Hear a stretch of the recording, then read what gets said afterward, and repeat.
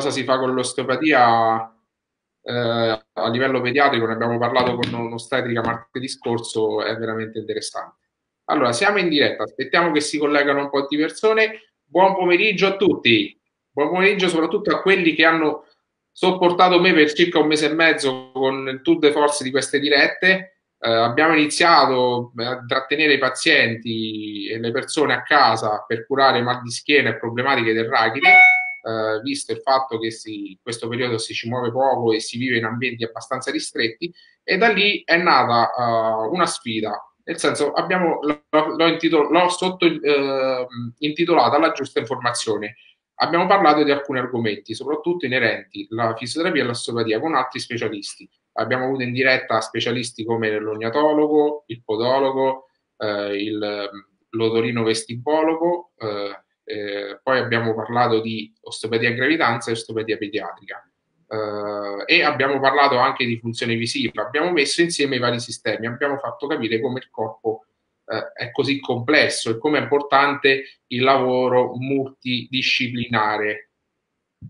Uh, inizio nel presentare la puntata di oggi. Oggi, come ho detto, una puntata boom, che è l'ultima e penso che sia anche a livello nazionale, abbiamo iniziato nel, nel, fare delle dirette a livello locale e siamo arrivati a livello nazionale. Ringrazio mh, il dottor Prinzi, lo, lo, lo, lo, presento, laureato in medicina e chirurgia, specialistica in chirurgia addominale ed urgenza. Da 11 anni sul pezzo a studiare la disbiosi, leucosi e in generale il, il microbiota intestinale, esperto di fitoterapia integrata e floriterapia master in ipnosi ericksoniana. Si definisce de prescrittore di quartiere. Buon pomeriggio! Allora, Ciao. voglio sapere questa definizione di quartiere, de prescrittore di quartiere. Io non so di che anno sei tu, io sono nato nel 71 e la TV a colori, i cartoni animati a colori sono arrivati più o meno nell'80 o nell'81, adesso non ricordo. Eh, però mi ricordo che fra i cartoni animati più facilmente disponibili c'erano quelli che trasmetteva la Rai, c'era Super Gulp con i cartoni animati di Spider-Man. E Spider-Man eh, si definiva no, la, il vostro affezionato Spider-Man di quartiere, il ragnetto di quartiere. L'idea quindi è nata, eh, l'idea è nata da lì, eh, il fatto che ci sia un deprescrittore, quanto piuttosto un igienista mentale per ogni quartiere, è confortante, ti dà l'idea anche della dimensione, della dimensione culturale, pic- della piccola comunità che però ha un punto di riferimento. Bene, bene.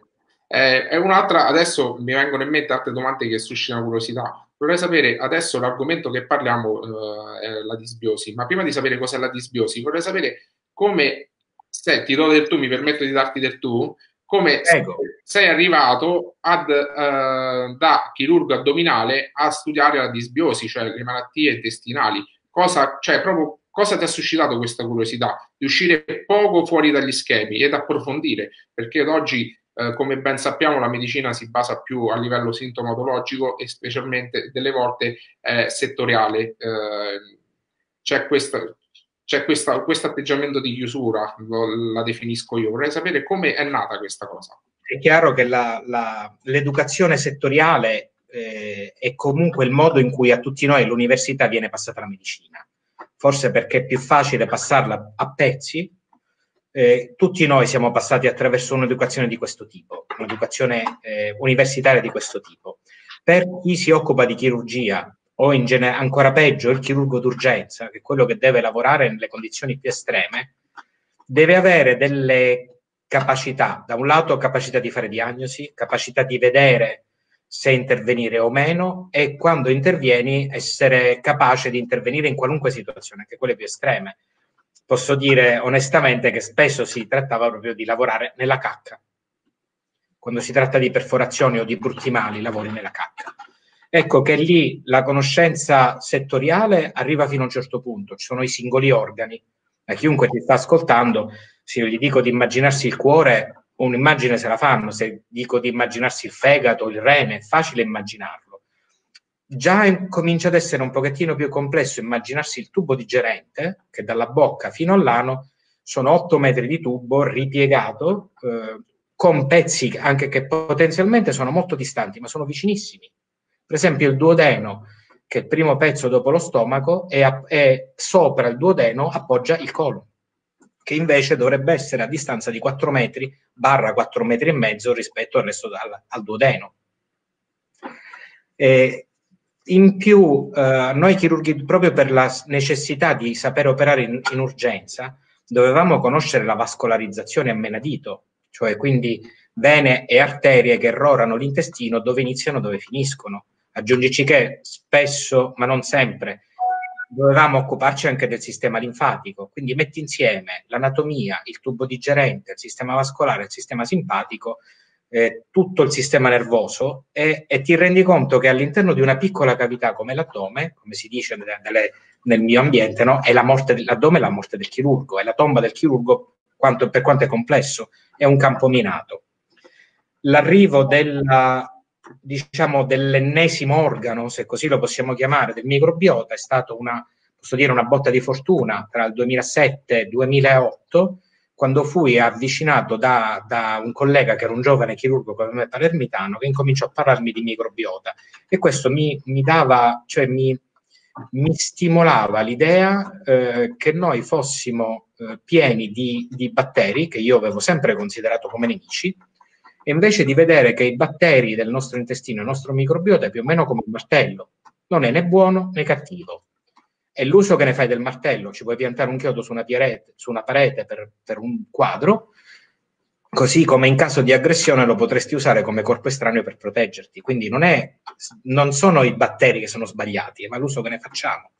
E quindi rispetto a, una, a, una, uh, a un dogma oggi disconosciuto, da anni disconosciuto, in cui l'unico batterio buono è quello morto, ci rendiamo conto che loro invece rappresentano una una struttura fondamentale della nostra vita. Senza di loro non potremmo vivere. Il loro DNA è quello che spiega perché noi abbiamo così pochi geni, ne abbiamo pochissimi, e il loro DNA quindi è più importante del nostro, o altrettanto importante del nostro. Quindi la, la visione del microbiota come un organo diffuso, eh, senza il quale non riusciamo a vivere, mi ha appassionato così tanto che non sono più riuscito a staccarmi dagli studi. E ne parlavamo poco prima della diretta, ora faccio un semi-spoiling a chi ci sta seguendo, chi decide di fare una professione che riguardi la salute è condannato a fare da studente a vita. È vero. Ma è come una fame, poi inizi a entrare in un circolo vizioso che non riesci più a farne a meno. Entri dentro, io mi ricordo quando ho, iniziato, ho, fatto lavorare in fisioterapia, ho detto ok, mi sono laureato. No, quello era solo il primo step. Poi il diploma in osteopatia, ok, mi sono diplomato, ma che? dobbiamo approfondire, corsi, corsi, studi, corsi, corsi, studi.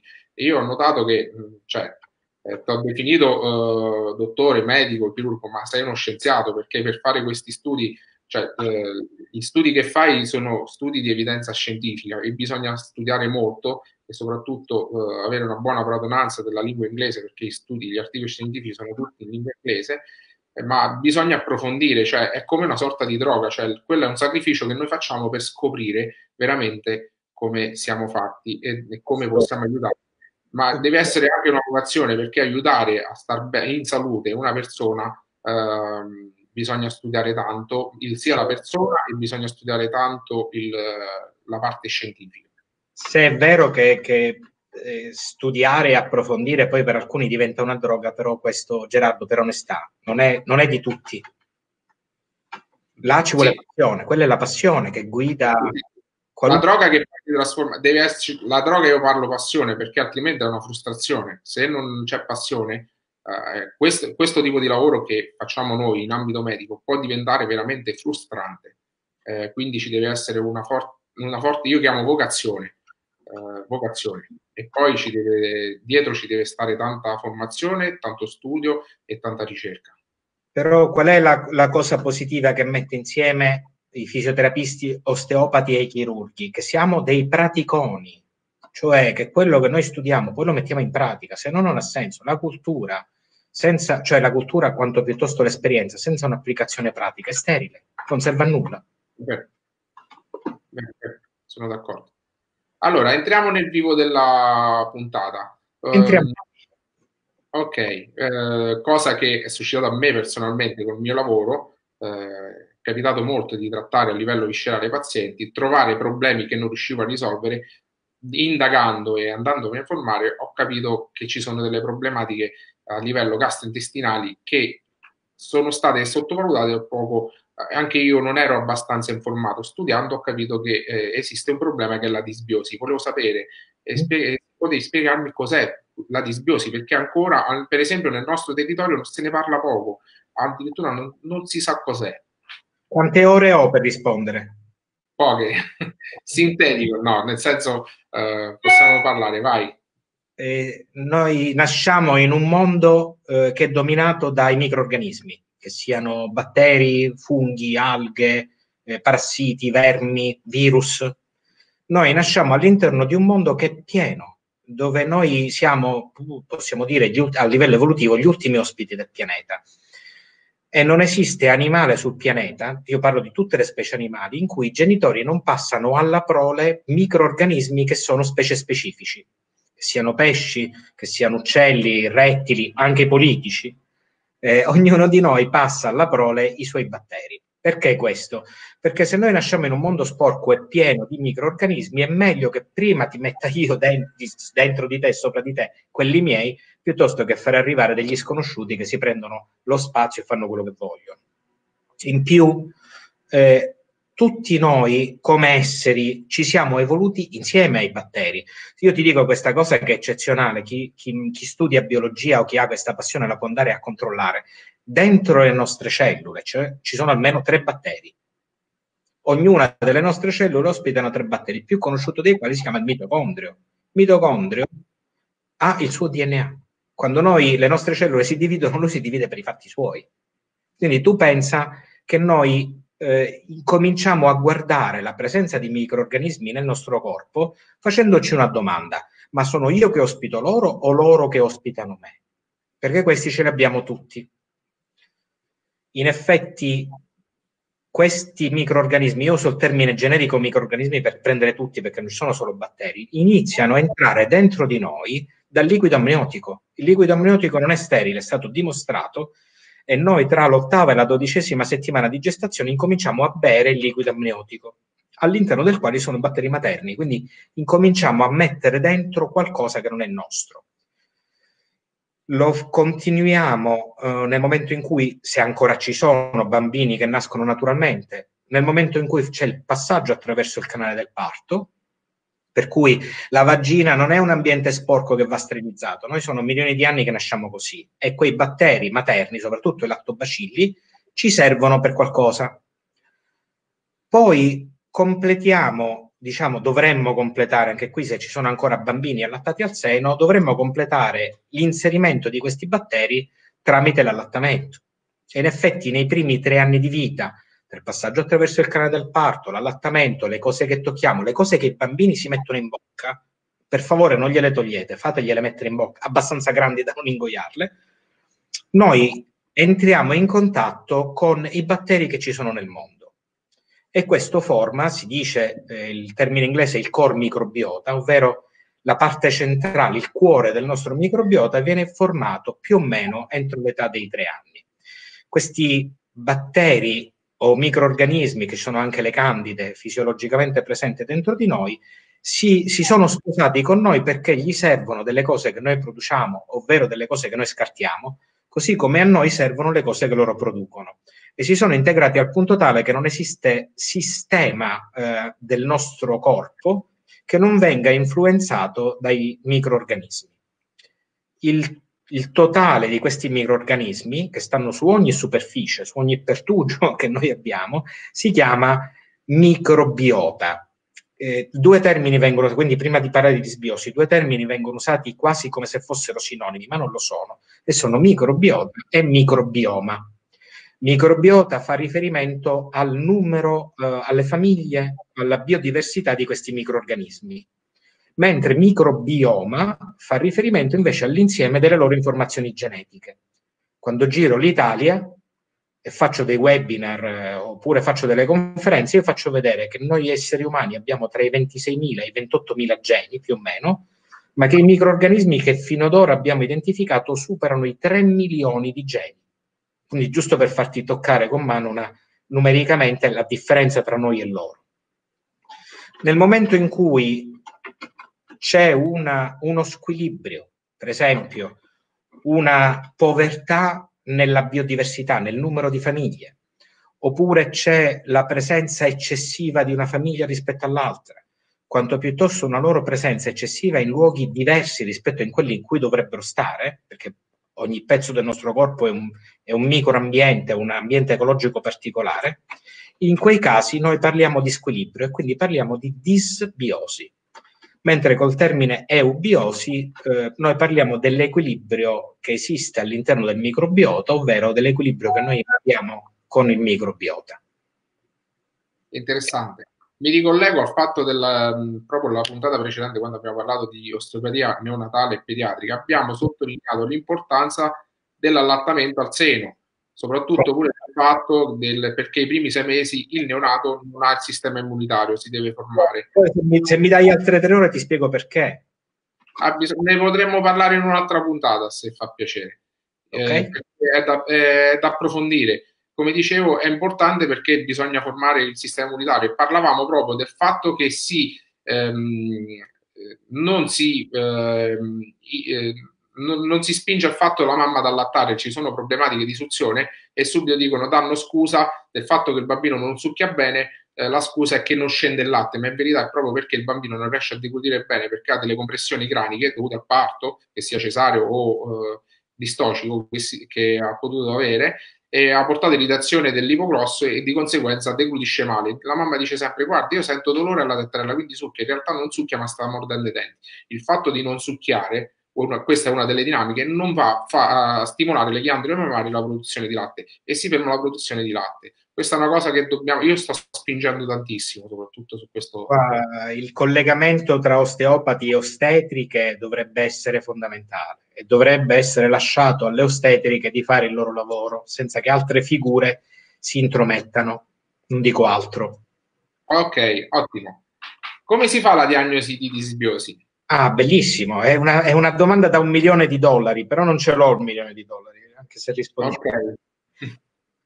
Ci so, ci, eh, da quando abbiamo incominciato a studiare il microbiota, più o meno dagli anni 80 in avanti, noi ci siamo resi conto che più studiavamo, meno ne sapevamo. Ancora oggi noi non sappiamo esattamente che cos'è l'eubiosi, cioè non sappiamo com'è esattamente composto il microbiota, perché cambia da paese a paese e cambia da persona a persona.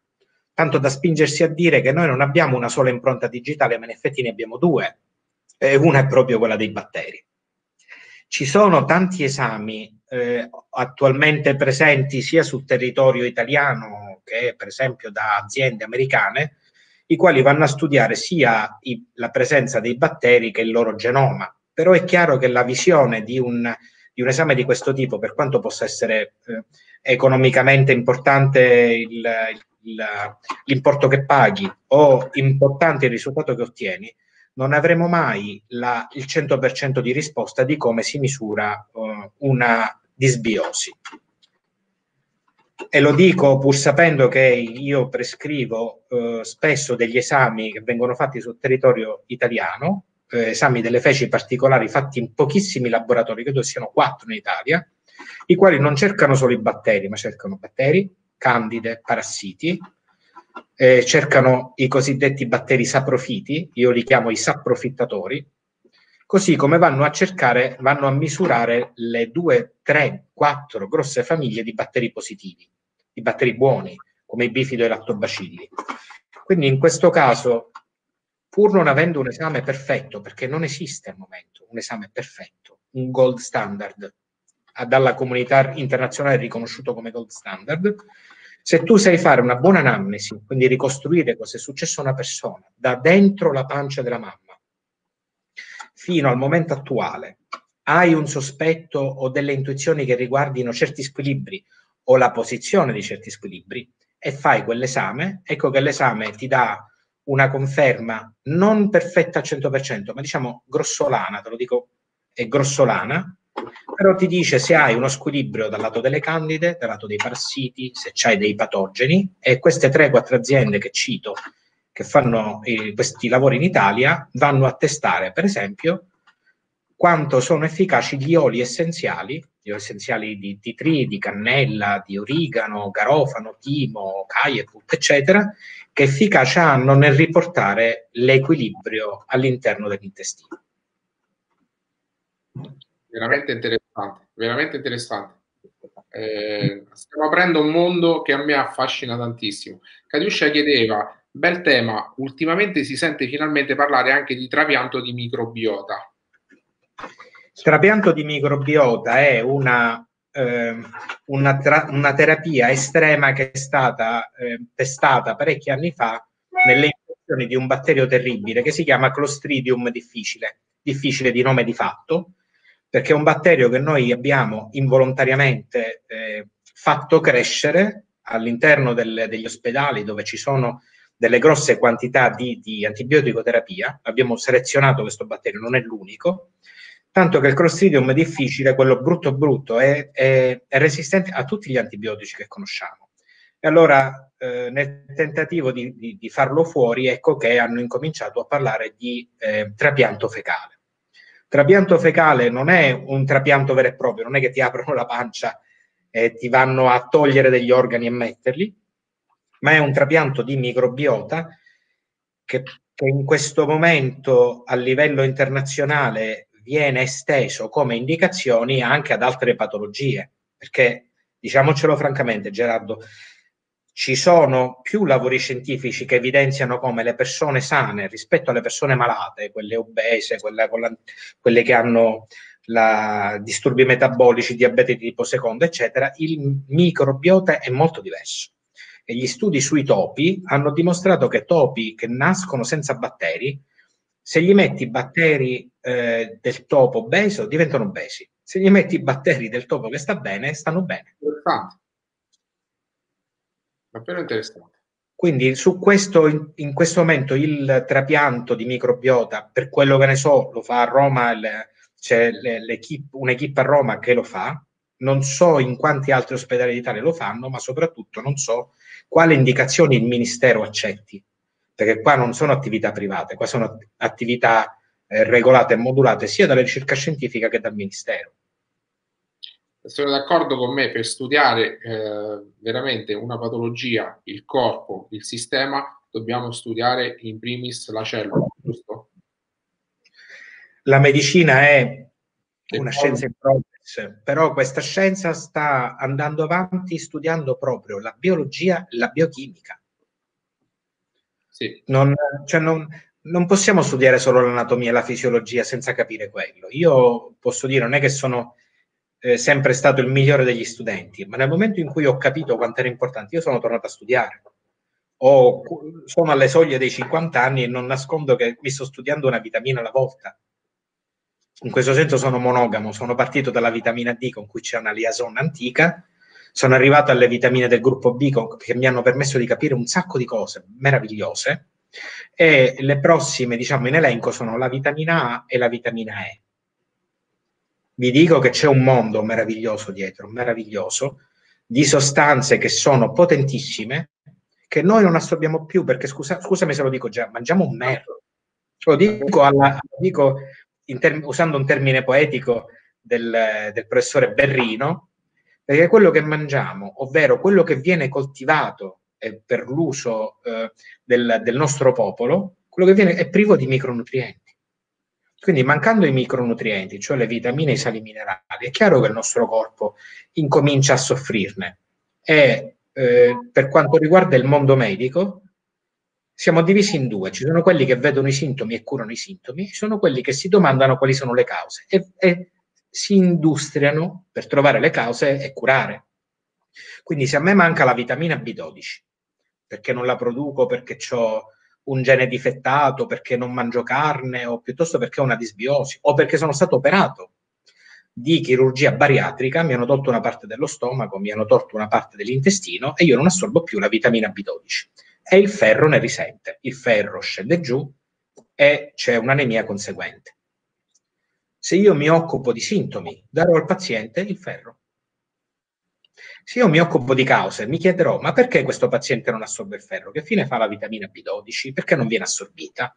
E la terapia più banale sono le vitamine B12 in puntura, per esempio, quanto piuttosto le vitamine B12 che sciogli in bocca. Esistono delle vitamine B12 che si sciolgono in bocca anche per i pazienti senza stomaco, insieme al fattore intrinseco di Castol. Quindi la buona anamnesi, le domande fatte bene, la capacità di vedere gli esami sono fondamentali per capire da che lato sei, se ti occupi di sintomi o se ti occupi di cause. Ottimo, perfetto. Approfitto a fare qualche altra domanda che fanno gli spettatori. Adriana chiede: La donna incinta negli ultimi tre mesi di gravidanza deve nutrirsi di cibi particolari per rinforzare il sistema immunitario del bimbo? Eh, ci ci sono delle relazioni scientifiche internazionali, delle linee guida precise su cosa va integrato negli ultimi mesi di gravidanza, a partire dalla vitamina D, come i folati, e stessa cosa va considerata dopo il parto sia nel bambino, cioè sia nel lattante che nella madre. Le linee guida ci sono, poi magari la quantità di vitamina D io posso anche non essere d'accordo, ma ci sono. Quindi pretendete da qualunque professionista cui, eh, con cui avete una relazione professionale, pretendete quantomeno le informazioni. Ottimo. Altra domanda, correlazione tra microbiota e cistiti ricorrenti. Eh beh, il microbiota si trova anche all'interno della vescica, cioè non esiste superficie in cui non ci sia il microbiota. In questo periodo anche se non si hanno risultati precisi e, e, e si ci muove con, deli, con, con, estrema cautela, si ci sta domandando se non ci sia un microbiota persino nel cervello. Posso aggiungere anche prostatiti? Sì. Ok. Sì. Allora, tutto il, la, parto uh, parlando di allattamento. Nell'allattamento al seno c'è un cross talk, una comunicazione tra le esigenze del neonato e la capacità della madre di fornirgli risorse. Ed è interessante che mentre il bambino ciuccia il latte dal seno, il sistema immunitario della madre è capace di capire di che cosa ha bisogno il bambino, di entrare nell'intestino, certe cellule che si chiamano APC possono prendere specifici batteri dall'intestino e portarli al seno. Ora, tra l'intestino e il seno non è che c'è una, un'autostrada o, un, o, o, non lo so, una via segreta. Noi stiamo parlando o di sistema, o di sistema eh, vascolare o di sistema linfatico. Vuol dire che in certe condizioni questi batteri potrebbero passare eh, attraverso il sistema linfatico o attraverso il sistema venoso senza essere attaccati. Questo te lo dico in generale la, e lancio diciamo, una provocazione che poi magari in questa puntata o nella prossima riusciamo a spiegare.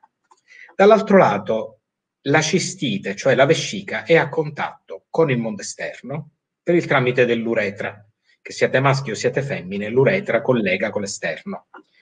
Dall'uretra si arriva alla vescica, dalla vescica si arriva ai reni. Quindi queste superfici o tutto quello che è mucosa è fisiologicamente ricoperto da un certo tipo di microbiota. Il microbiota, per il fatto che è diverso, prende il nome dai distretti, quindi c'è il microbiota renale, c'è il microbiota vescicale, c'è il microbiota uretrale, Potenzialmente c'è anche un microbiota prostatico. In questo momento non è importante, se non la prostata ci arriviamo da un punto di vista osteopatico. Ma com'è che si arriva a una cistite interstiziale? C'è stata un'interruzione del microbiota, magari nove volte su dieci, una donna che ha problemi a fare pipì o che ha la percezione dei sintomi della cistite potrebbe trovare uno di quegli operatori che gli dicono sì, prenditi l'antibiotico. Ovviamente nel momento in cui tu usi un antibiotico, tu stai andando a squilibrare un equilibrio e a forza di squilibrarlo quello che succede è che i batteri, lo hanno visto con le Escherichia coli, hanno la capacità di ammucciarsi, scusami, alla palermitana, di nascondersi all'interno della vescica, così come lo fanno all'interno della pelle. Ci sono dei lavori anche vecchi che sono impressionanti, con batteri che si trovano fra le nostre cellule della pelle, la parte interna e non vengono riconosciuti come nemici. Ora, e parlo non a caso che c'è l'osteopata accanto, nel momento in cui una donna ha la percezione dei sintomi di una cistite, prima di darti un antibiotico, fatti fare, un anti, fatti fare un'analisi delle urine. Se c'è un batterio, si vede. Quali sono gli antibiotici a cui è, è, è positivo, lo si vede. E poi domandiamoci se possiamo curare una cistite con il cranberry, col mannosio o con dei probiotici. C'è un Escherichia coli, per esempio, che, che è venduto in farmacia, si chiama Escherichia coli Nisle, non dico l'acronimo perché poi è il nome del prodotto, il quale è certificato da letteratura internazionale contro le cistiti Escherichia coli. Però non è che a volte un colon più lungo può premere sulla vescica delle donne, dando gli stessi sintomi di una cistite, ma senza che sia una cistite infettiva. Il colon trasverso, il sigma, il retto, così come tutto quello che sposta l'utero verso la vescica, così come i cambiamenti della postura, così come le compressioni degli ureteri, eh? Cioè, prima di dare un antibiotico a una persona, tenendo conto che in Italia abbiamo il triste primato in Europa di avere più morti da antibiotico resistenza d'Europa, si stima 10.000 morti l'anno. Alcune stime raggiung- cioè, tentano di avvicinarsi ai 48.000 morti l'anno perché noi abbiamo campato attaccati alla pubblicità che ci deve, c'hai questo problema, prendi questo, c'hai questo problema, prendi quell'altro. Però purtroppo, siccome i batteri non sono cretini, siamo più cretini noi, che pensiamo che ci sia la pillolina magica perché ce la passa la TV. Poi, danno dopo danno dopo danno, se voi andate a vedere, fate un'analisi di chi ha una cistite interstiziale, chiedetegli per quanti anni ha preso antibiotici o quanti antibiotici ha preso. E ricordatevi che questi batteri, questi microorganismi di cui vi parlavo, in sei mesi fanno quello che il genere umano fa in 10.000 anni loro in sei mesi fanno 300 generazioni. Quindi ogni intervento farmacologico, ogni intervento dietologico ha un impatto su di loro, li può selezionare. Loro si rendono conto di aver avuto il contatto con un antibiotico, non sono stupidi e per sopravvivere che fanno?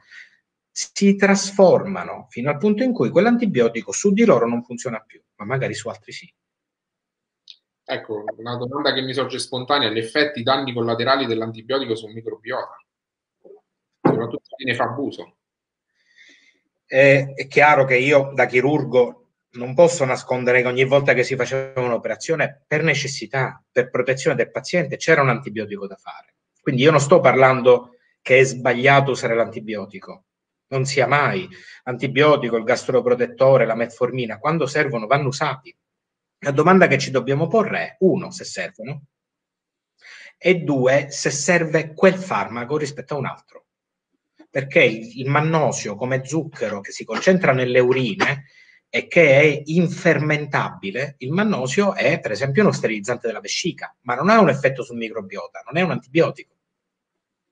Stessa cosa, le proprietà del cranberry, che sembrano avere un effetto molto importante sui batteri, però non è un antibiotico.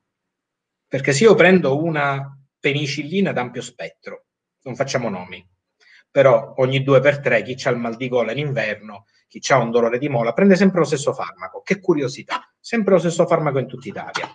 Una penicillina ad ampio spettro, già dice tutto la parola, è una bomba atomica.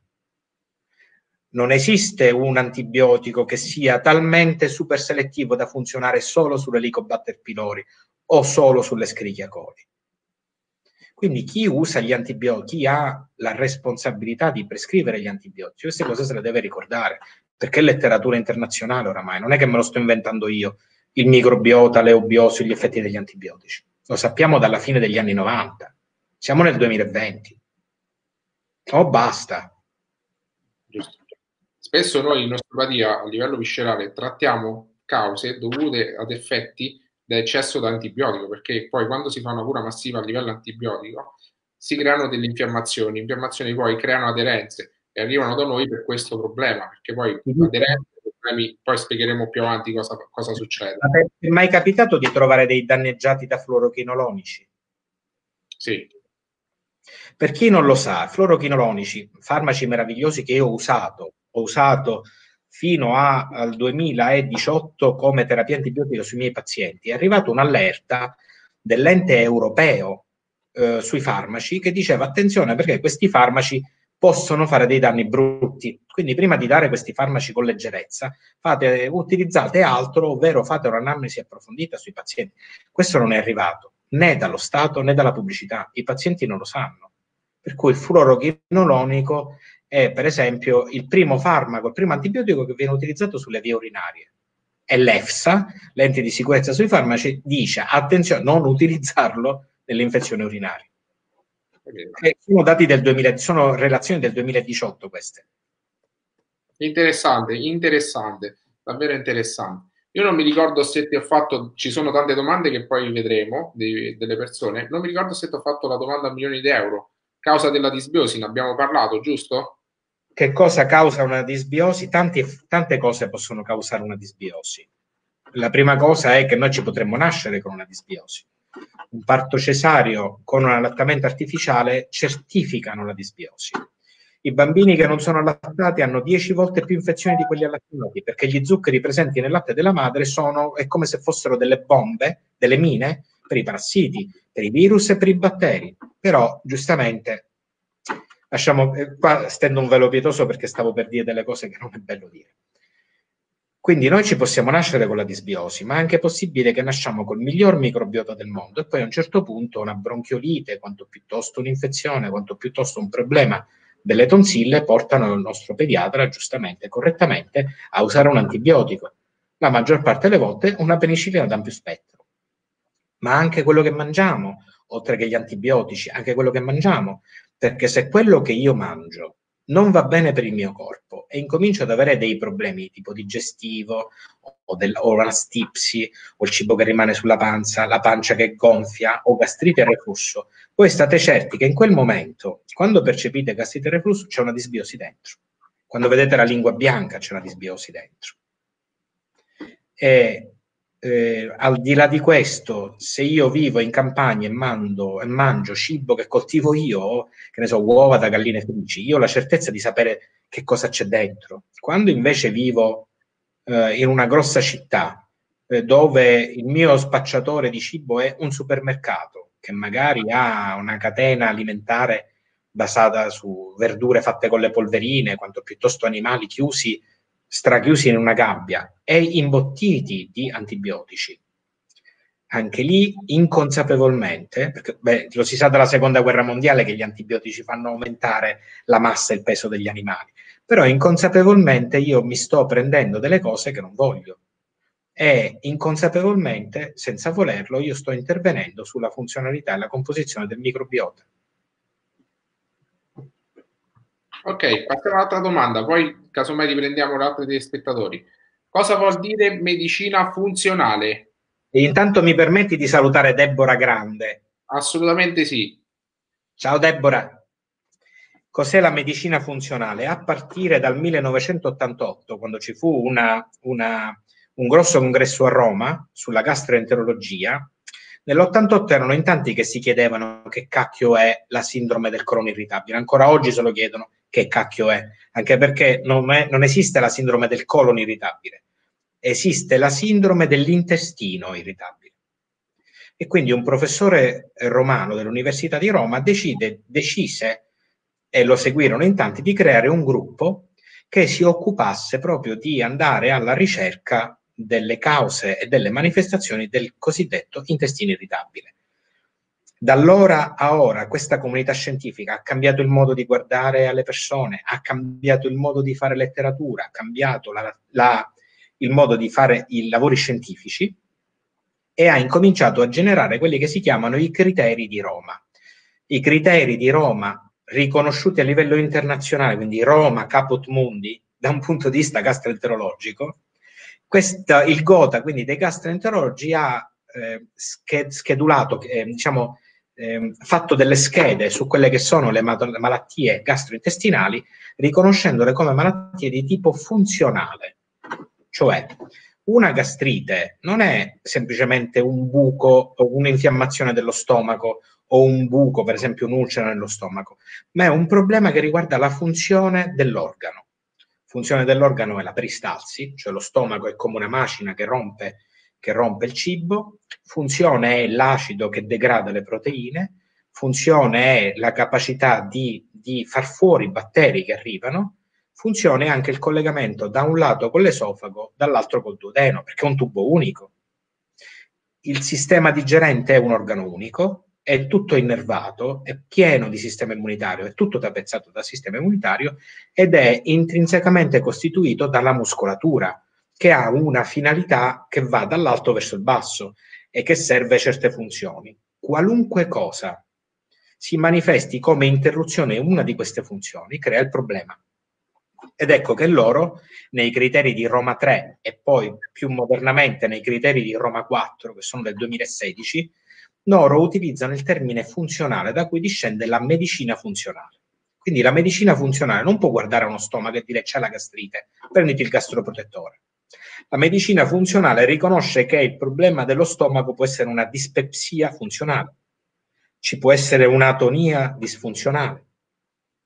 Si vanno a cercare i perché, si vanno a fare degli esami per capire i perché per poi risolvere il problema.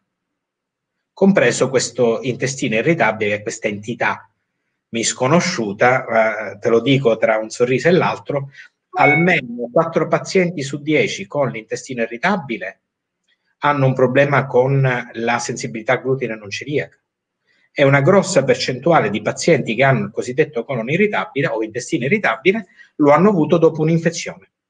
Una gastroenterite, per esempio alimentare, sono stati in Egitto, in Marocco, che ne so da un, un takeaway, un all you can eat, hanno preso una gastroenterite intestinale e quella gastroenterite è stato il punto di partenza dello squilibrio batterico che poi ha portato alla, allo squilibrio funzionale. Interessante. Eh, prendo qualche altra domanda, eh, sono perse. Volevo fare, ci sono tantissime domande, adesso me le sono perse, stavo andando per sequenza. Va bene, andiamo avanti con le nostre, poi le ritrovo. Um, cosa c'entra questo con l'apparato osteoarticolare? Qua eh, parlo io, parli tu.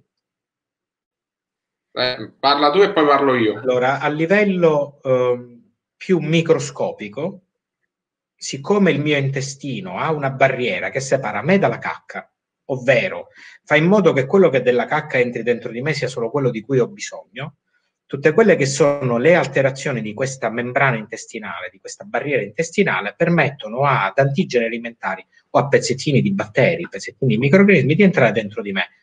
Uno fra tanti nell'artrite reumatoide, ma quanto in tutte le artriti, in tutte le patologie anche delle, delle, delle chiama, delle articolazioni, il, il, quello che è stato visto che ci possono essere pezzettini di, di, della, della, come si chiama, della, superficie dei batteri, particolarmente i gram negativi, questa proteina si chiama lipopolisaccaride batterico, i quali entrano nel circolo e gli piace in particolare alcune molecole delle cartilagini, si vanno a mettere lì, il sistema immunitario se ne accorge e gli spara, cioè spara contro quello che è un nemico, quello che è considerato un estraneo, creando per esempio infiammazione delle articolazioni o infiammazioni delle ossa, stessa cosa anche sui muscoli. Ma se vogliamo essere più, più leggeri e meno, diciamo, meno, eh, entrare meno nel particolare, l'intestino, questo tubo lungo 8 metri, non è appoggiato nel nulla, non galleggia nel vuoto. L'intestino è diviso in una parte retroperitoneale e in una parte peritoneale, ovvero una parte che è appiccicata ai muscoli che ci sono nella schiena una parte che è appiccicata alla, alla schiena, nel senso alla colonna. In più, siccome noi siamo un unico, cioè non è che c'è il cuore qua e lo stomaco qua che sono separati, quando la pancia gonfia, quando c'è un aumento della pressione della pancia, questa pancia fa anche una pressione sul diaframma. Nel momento in cui fa una pressione sul diaframma e fa una pressione sulle, sulle costole, possi- già questo può essere identificato come un fattore meccanico che favorisce il reflusso. Quindi vedete come il reflusso è una disbiosi intestinale, come anche un problema legato a degli alimenti che il tuo corpo ti sta dicendo che non li vuole, può provocare dei problemi che, che arrivano al tubo digerente, che si manifestano sul torace, ma anche nelle spalle, ma anche nelle, come si chiama, nella eh, spalla destra, spalla sinistra, nella cervicale. Alcune cefalee sembrano essere collegate a disturbi intestinali. Questo è quella vecchia parte della, dell'anamnesi, no? della capacità dell'esame obiettivo dei medici che noi abbiamo dimenticato. Abbiamo la risonanza, abbiamo la TAC, chi se ne frega di guardare la schiena del paziente o di guardare la lingua o di guardare le sclere degli occhi? No, Gerard? Assolutamente sì. Eh, per esempio le emicranie, quando parliamo di mal di testa di memilato, quella è viscerale, il 99% è viscerale. Come per esempio mi hai, detto, mi hai citato appunto del meteorismo, cosa succede? Quando c'è un'espansione addominale, essendo il peritoneo collegato dietro e racchiuso sulla radice mesenterica, cosa fa? L'espansione porta uno spasmo della radice mesenterica, lo faccio vedere così, di conseguenza crea una compressione discale sulla parte lombosacrale e poi nascono le discopatie. Altre associazioni quali sono? Le aderenze dovute alle infiammazioni, eccetera, del, eh, soprattutto del perito, che portano blocchi del peritoneo, a livello fasciale si ripercuotono poi sul bacino, eh, posteriormente sulle fasce femorali, quindi curalgie, addirittura sciatalgie, interessando la parte superiore diaframmatica e lo stomaco, il duodeno con il nervo vago vanno a influire il plesso cervicale, plesso cervicale, spalle e dolori fastidio alle braccia e tutta la parte superiore. Spezziamo una lancia a favore di quei fisioterapisti o fisioterapisti osteopati. O osteopati i quali hanno scelto una super specializzazione. Qua mi viene da fare intanto un saluto a, a Imma Trabucco, tua collega. La salutiamo. Che mette in pratica le manipolazioni fasciali perché sono sei anni che si occupa di reflusso ma c'è anche Michelangelo Lecce, fisioterapista di Roma, il quale si occupa esclusivamente delle nevralgie del pudendo. Tu dici, ma che c'entra il pudendo con l'intestino? Il pudendo, cioè questo nervo, non nasce dal nulla, passa attraverso la parte interna del corpo e viene irrorato da vene e arterie. Tutto quello che premendo, per esempio un, un sigma più lungo, un colon più lungo, no? se preme costantemente in una certa zona all'interno dell'addome, porta a un'alterazione della vascolarizzazione, cioè sangue venoso, sangue arterioso, così come premere su un muscolo, come può premere su un nervo, da cui la neuropatia. Quindi quando c'è un dolore, quando c'è una disfunzione, non vedere l'associazione proprio deve essere o, o, o, non ti va di vederla. No, nemmeno mezzo ciechi, tutte e due. Ciechi. Oppure sei nel vecchio paradigma in cui ancora gli organi sono separati, ma nel nostro corpo non c'è nulla di separato sono come, permettimi il termine, come gli ingranaggi di un orologio. Basta un, un chicco di sale, no? un granello di, di sabbia che blocca un certo ingranaggio e tutti gli ingranaggi, prima e dopo, vengono bloccati prima o poi.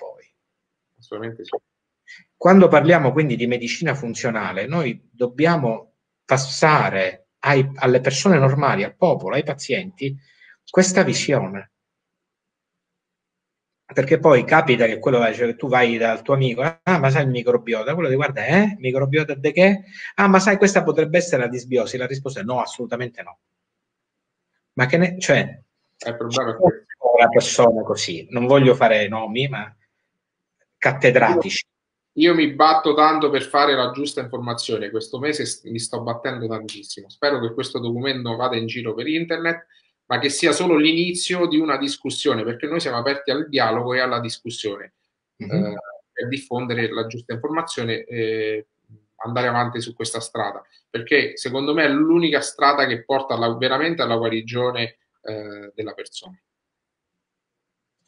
Partiamo. Guarigione è un termine difficile, sì, vabbè, cioè... a migliorare lo stato, migliorare, perché i fattori... Però però quando una persona, non un paziente, quando una persona conosce la situazione in cui si trova. Ti ho perso. Eh sì, ho visto. Non so perché mi hai perso. Ti sento ma non ti vedo. Non, eh, non lo so. La telecamera e le fonti verranno visualizzate qui. Non so perché non me lo fa vedere. Aspetta, ci riprovo. Collega la fotocamera. Aspetta, ti ricollego. Ok. Ritornando in Eccoci si vede che la telecamera si era intimidita che, io stessi dicendo qualcosa di brutto. Se noi passiamo queste informazioni alle persone e le persone hanno una visione di sistema, ci sono parecchi di quelli che seguono la mia pagina che sono o ricercatori o delusi da, dal sistema sanitario e preferiscono fare da loro.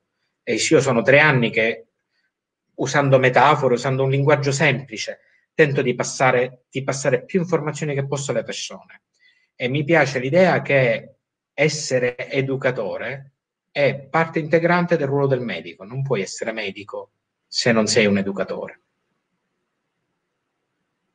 È vero, questa è una bella informazione. Eh, volevo, se mi permetti, c'era una, una eh, io che è bellissimo questo programma perché riesco a leggere le domande sì. e c'era la domanda di, di, di una Guarda, che si chiama Sara Serafina Ninni. Due cose. Intanto mi chiede di ribadire il lavoro in equip. Assolutamente. Se esistono in medicina eh, lauree specialistiche in medicina o in fisioterapia o riabilitazione o in osteopatia, eh, in infermieristica, eccetera, è perché nessuno di noi è un'isola. Nessuno di noi può lavorare da solo e chi meglio di un chirurgo te lo può dire, perché il chirurgo è come Schumacher.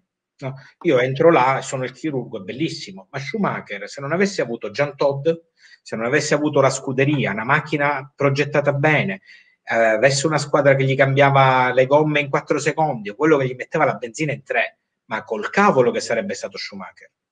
Quindi se ognuno fa il suo, ognuno, io, questo mi permette a me di diventare bravo nel mio e di passare le competenze di riabilitazione ai pazienti a Gerardo, quanto piuttosto a Matrabucco, a, a Riccardo Cecchetto, a Raffaella Lupi, a Gianluca Catania, a Giuseppe Visalli e tutte le persone meravigliose che ho conosciuto in quest'anno e mezzo e che mi hanno restituito una visione della medicina funzionale. Fisioterapisti, osteopati oppure fisioterapisti e osteopati a cui sono grato.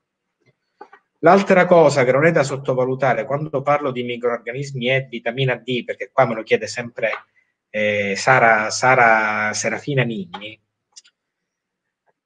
La vitamina D è un ormone fondamentale, non è una vitamina, è un ormone. Noi questo ormone lo prendiamo dal sole, lo prendiamo in certi periodi dell'anno, in altri meno. Non, non riusciamo a prenderlo dall'alimentazione, a meno che non mangiamo quintali eh, no, di olio di fegato di merluzzo di salmone. Per cui chi come noi vive in Sicilia, eh, quanto piuttosto in Puglia, in Calabria, eccetera, da maggio fino a novembre i raggi del sole sono tali per produrre vitamina D, a, a meno che non, tu non stia prendendo un farmaco per il colesterolo, la produci. Ma noi abbiamo dimenticato che cosa fa la vitamina D. Una delle cose che fa la vitamina D, oltre che essere presente come recettore in tutte le cellule del sistema immunitario, produ- aumenta le difese del sistema intestinale. Il sistema difensivo intestinale produce più difese con la vitamina D. E non è la vitamina D che prendi una volta alla settimana, una volta a due settimane, una volta al mese, ogni volta, ogni, ogni volta, eh, che so, una volta ogni morte di papa. Scusa Francesco perché mi sente, so che, so che mi ascolta. La vitamina D è scritto da tutte le parti, la più fisiologica delle somministrazioni è giornaliera, poco importa la dose. Fossero anche mille o duemila unità al giorno, poco importa, ma deve essere giornaliera. E questo aiuta a creare quell'equilibrio che per esempio manca nel nostro intestino proprio perché ci mancano elettroliti e vitamine nella alimentazione giornaliera. Ok, prendo una domanda a volo di Veronica che saluta e dice eh, oddio, ma, veramente, ma esiste veramente il dottore o solo esiste veramente, parlava del microbiota se può essere correlato soprattutto a la fibromialgia, se c'era una correlazione con la fibromialgia. Ci sono, c'è qualche lavoro scientifico che connette la disbiosi con l'interruzione della membrana intestinale, il passaggio di lipopolisaccaride batterico in circolo, il fatto che arrivi alla membrana ematoencefalica, quanto piuttosto alle membrane dei nervi e possa provocare una neuropatia infiammatoria da lipopolisaccaride batterico.